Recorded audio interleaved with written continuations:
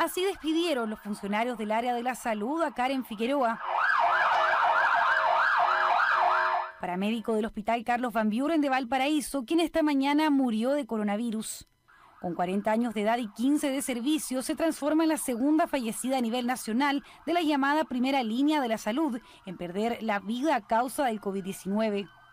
Según dio a conocer la dirección del hospital, la funcionaria ingresó el pasado 19 de abril con una insuficiencia respiratoria aguda que evolucionó a neumonía por causa del mismo virus.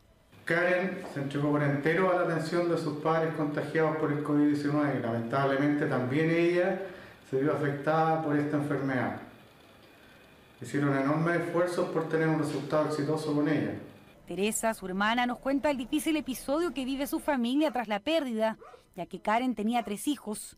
Sus padres, ambos adultos mayores, también tuvieron que ser hospitalizados, aunque uno de ellos ya fue dado de alta. Horrible, uno tiene que ser fuerte por mis padres, mis sobrinos más que nada.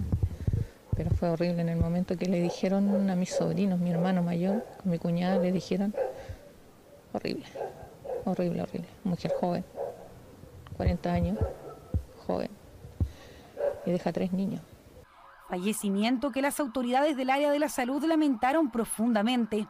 Quiero dar mi más sentido pésame a toda su familia, como también a todos los funcionarios. Estamos muy consternados por el fallecimiento de Karen Figueroa, una trabajadora de la unidad médico-quirúrgico, sector traumatología del Hospital Carlos Van Buren, y sabemos la preocupación y el miedo que eso genera sobre toda la comunidad hospitalaria y sobre todos los trabajadores de la salud. Desde la Municipalidad de Valparaíso se comunicaron con la familia de la fallecida funcionaria, quien fue sepultada hoy bajo estricto protocolo sanitario.